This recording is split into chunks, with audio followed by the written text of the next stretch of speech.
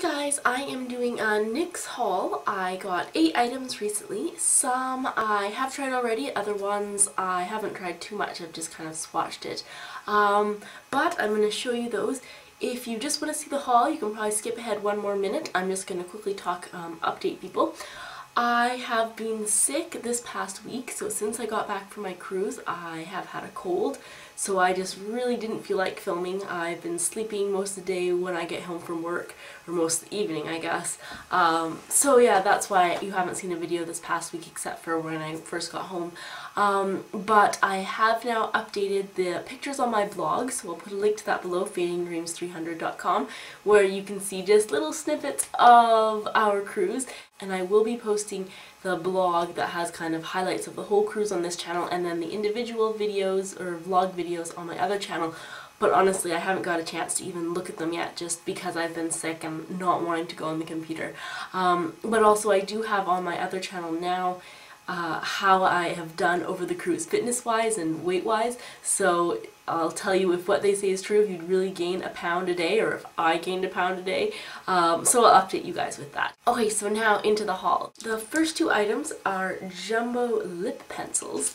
This is a pink, a light pink one, and it's actually called pink brown, even though it's like a pale pink. But that's it right there. And on your lips, it's actually a little bit more um, like shiny Barbie pink than I would have hoped. um, but, you know, that's okay. And then the other one is called Chaos. And that's actually what I have on my lips right now. It's quite bright, as you can see there. From the picture, I didn't, I don't know, I didn't think it would be quite, quite so bright. Um, but, yeah, and then the next item is a full coverage concealer because I am still in search of an amazing concealer. So I have given this a try for about a week now.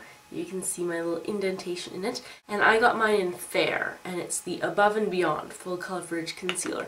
And sorry about my voice, it is kind of getting scratchy, but yes, I am sick. I have some good things to say about this and some really negative things to say about this so I will be doing a review on this because yeah I have enough to say about this to cover a whole review so stay tuned I mean it will only be in probably a few weeks but that will come. Next I decided to try their HD eyeshadow base, their primer. Basically I was running low on my Urban Decay primer potion so I thought I'd just give this one a try. You just have the doe foot applicator. I was going to do a review on this, but I don't have too much to say. Um, at first, I put a little bit too much on and it creased, and I was like, oh my god, this is an awful primer. But then I put a little bit less on, uh, obviously, and it didn't crease anymore. So yeah, at first I thought this is like a waste of a product, but no, it's not too bad. The next item I'm actually very excited about.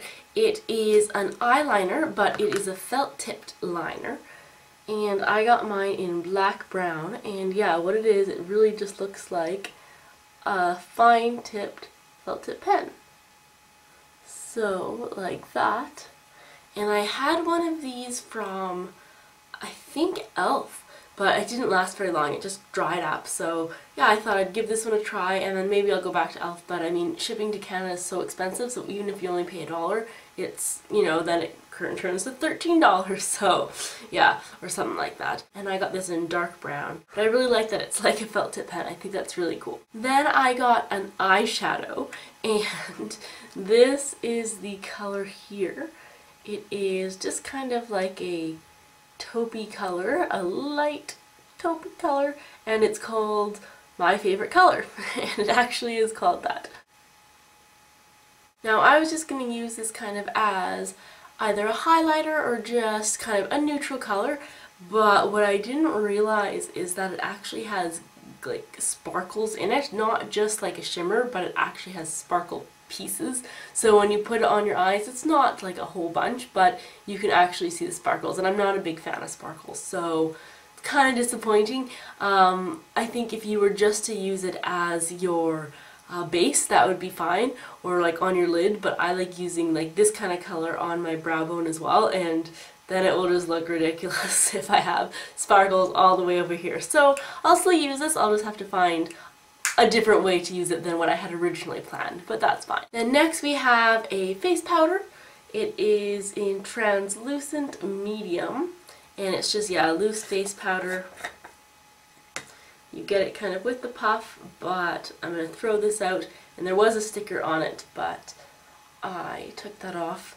Right now I'm using the Aveda one, but although the Aveda one is double the size, it's kind of pricey, so I'll probably stop using it after a while, so I wanted to give this one a try. It's actually a little bit darker than the Aveda one, but the Aveda doesn't offer any color, it's just um, to take away the shine, so I thought, you know, I'd give this a try, and actually it is a nice um, color, it's not too dark, because that sucks when it's like darker than your foundation, so I chose well.